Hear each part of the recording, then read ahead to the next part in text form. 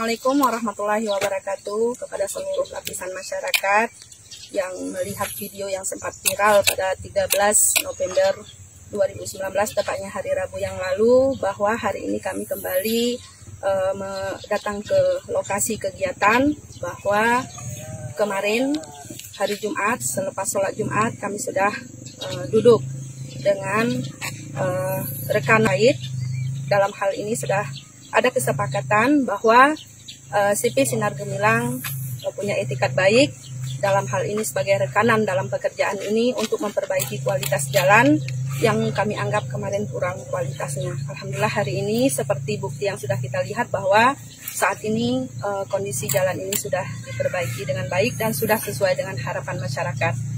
Kemudian uh, dalam hal ini kami sebagai uh, anggota dewan dari Komisi C mengharapkan kepada seluruh pemerintahan untuk tidak lagi menerima usulan-usulan dari masyarakat yang bersifat lapen latasir karena kualitasnya sudah sama-sama kita lihat ini kurang memadai.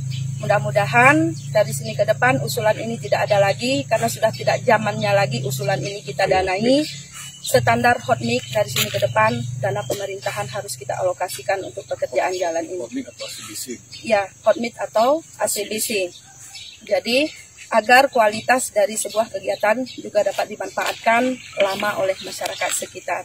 Untuk ini, karena video ini sempat viral di media sosial, kami dari anggota legislatif uh, Aceh Tengah dari Dapil 3 saat ini sudah membenarkan bahwa ada tindak lanjut dan niatan baik dari rekanan untuk memperbaiki eh, kekurangan-kekurangan uh, dari pekerjaan ini. Demikian, wassalamualaikum warahmatullahi wabarakatuh. Jangan lupa subscribe ya.